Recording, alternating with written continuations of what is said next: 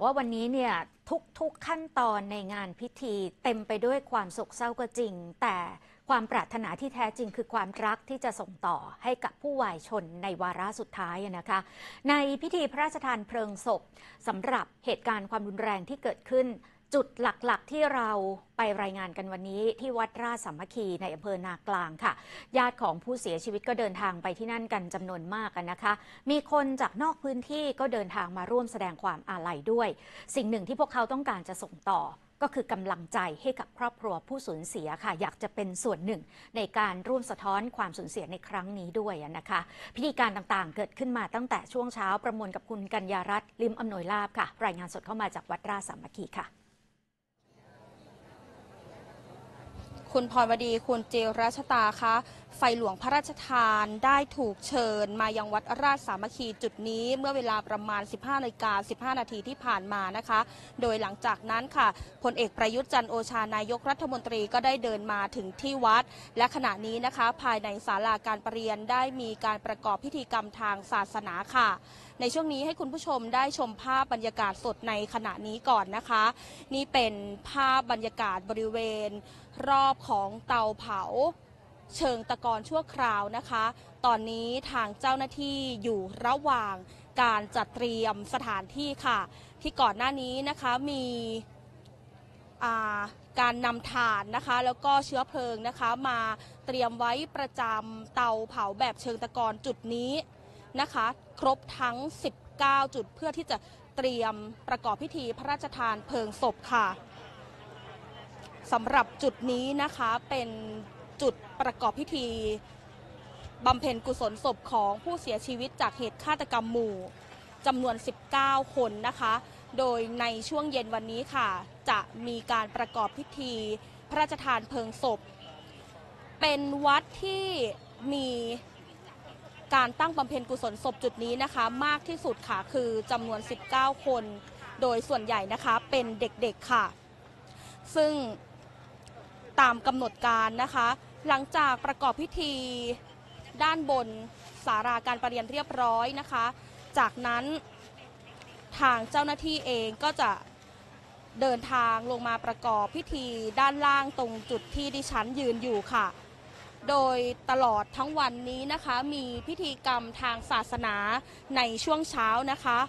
คือเริ่มตั้งแต่เวลา 10 นาฬิกาที่ผ่านมาค่ะ เริ่มจากการสวดเจริญพระพุทธมนต์นะคะ จากนั้นค่ะในกิจกรรมในช่วงบ่ายนะคะ ได้เริ่มตั้งแต่เวลา 12นาฬิกา30 นาทีค่ะ พระสงฆ์สมณศักดิ์ได้สวดมาติกาบางสกุลจำนวน 10 รูป และเมื่อถึง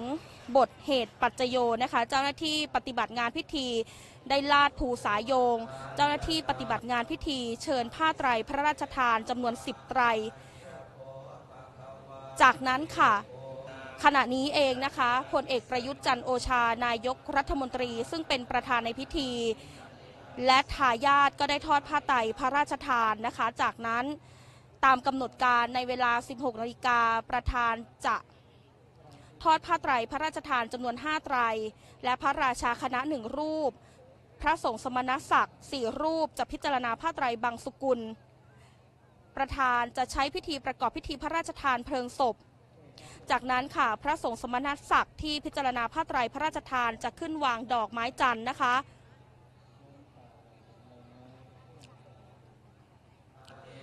สำหรับเตาเผาศพแบบเชิงตะกอน ในวันนี้นะคะที่วัดราชสามัคคีค่ะ เป็นการประกอบขึ้นมาใหม่จำนวน 19 เตานะคะ มีการประดับตกแต่งด้วยผ้าขาวดำค่ะ ซึ่งตั้งแต่เมื่อวานนี้จนถึงวันนี้นะคะ ในช่วงเช้ามีทั้งเจ้าหน้าที่จิตอาสาตำรวจ ฝ่ายปกครองนะคะ ได้นำเอากระสอบถ่านที่ใช้เป็นเชื้อเพลิงในการเผาศพมาเตรียมไว้ค่ะ โดยมีการจัดเรียงเตาเผาโดยนำเตาที่ใหญ่เป็นพิเศษนะคะ ก็คือของคุณครูหนึ่งท่าน พร้อมด้วยบุตรชายค่ะ จะวางไว้เป็นเตาเผาแรก ซึ่งการวางเรียงเตาเผาจุดนี้นะคะ เป็นความประสงค์ของครอบครัวผู้เสียชีวิตที่มีความเชื่อว่า คุณครูจะนำเด็กๆไปสู่สุขติค่ะค่ะคุณเพิ่งขออภัยค่ะ คุณพรวดีคุณจีรัชตาคะสำหรับ วันนี้นะคะ ซึ่งเป็นวันอังคารที่จะมีการประกอบพิธีพระราชทานเพลิงศพค่ะ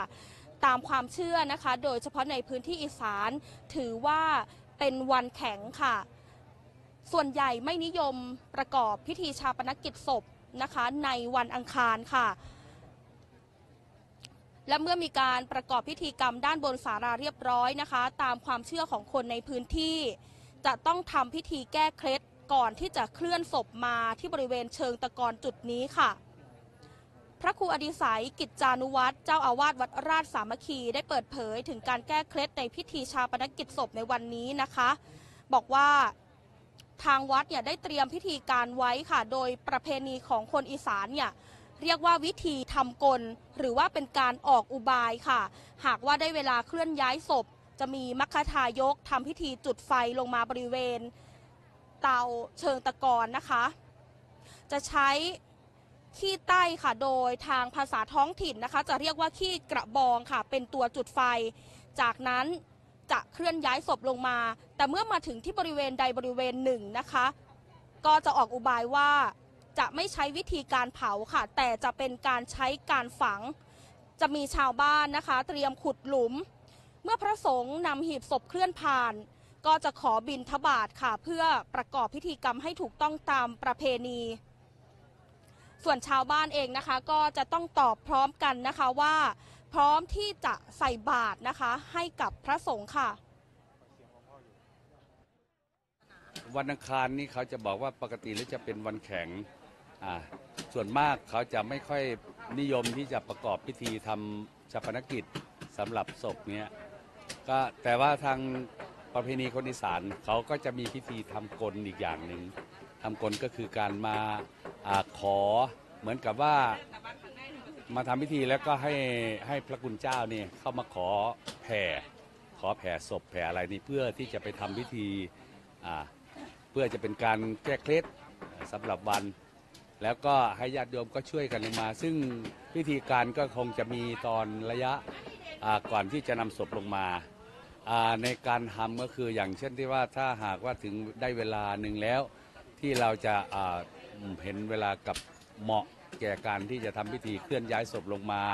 ก็จะมีท่านทายกประจำหมู่บ้านเนี่ยก็มาทำพิธีเหมือนกับถ้าเป็นวันคารเขาจะใช้จุดไฟลงมา ในที่นี้เราจะใช้ขี้ใต้ ภาษาคนอีสานเรียกว่าขี้กระบอง เป็นตัวจุดไฟแล้วก็เดินลงมา เมื่อมาถึงยังบริเวณที่ใดที่หนึ่งนี่เขาจะทำเป็นเหมือนกระทำกลก็คือการขุดหลุมเหมือนจะฝัง พระมาถึงก็จะมาทักอ้าวญาติโยมมาทำอะไรกันเนาะอ๋อมีคนเสียชีวิต ก็เลยจะนำร่างมาฝัง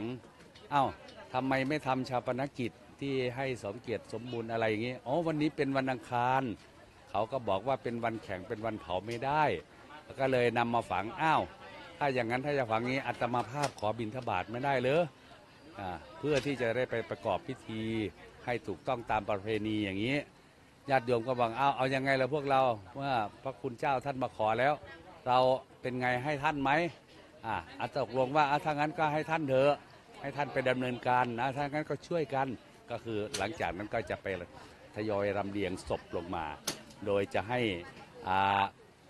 ญาติโยมช่วยกันยกมา แล้วก็มีพระคุณเจ้าที่จะเดินนำลงมาด้วย และที่สำคัญก็คือทางท่านนายได้คุยกันแล้วท่านกับท่านนายอำเภอก็บอกว่าจะให้เจ้าหน้าที่ที่เป็นปกติขาวหรือว่าท่านที่แต่งชุดที่จะอัญเชิญไฟที่พระบาทสมเด็จพระเจ้าอยู่หัว พระองค์ทรงพระราชทานมานี้ ก็คือนำมาทำพิธีตรงนี้ คุณผู้ชมคะจากการสังเกตการของทีมข่าวนะคะ คาดว่าพิธีการบนศาลาการประเรียนขณะนี้ น่าจะใกล้แล้วเสร็จแล้วนะคะ โดยกลับมาที่บรรยากาศบริเวณรอบนอกกันบ้างค่ะ ภาพที่คุณผู้ชมเห็นอยู่ในขณะนี้นะคะ เป็นประชาชนที่เดินทางมาจากทั่วสารทิศค่ะ ต้องบอกว่าพอเป็นงานศพเป็นงานที่ก่อให้เกิดความสูญเสียแบบนี้ ชาวบ้านหลาย ๆ คนบอกว่าต้องการมาให้กำลังใจ ครอบครัวผู้สูญเสียนะคะ ตอนนี้หลายคนเดินทางมาจากต่างจังหวัดค่ะ เดินทางมาตั้งแต่ช่วงเช้านะคะ อย่างเช่นคุณป้านะคะ เดี๋ยวเราจะลองพูดคุยดูนะคะ คุณป้าคะเดินทางมาจากที่ไหนคะเขาอยู่คนในพื้นที่ค่ะจากนนเมืองตำบลนนเมืองค่ะ อยู่ในพื้นที่หนองบัวลำพูนค่ะ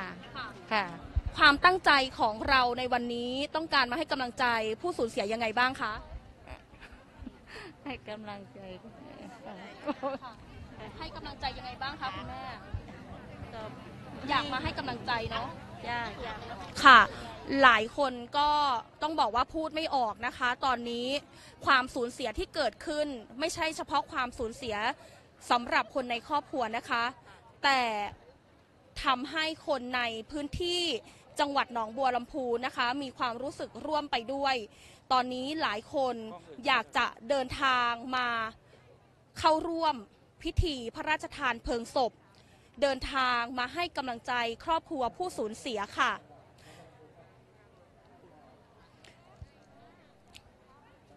ค่ะและในการนี้นะคะ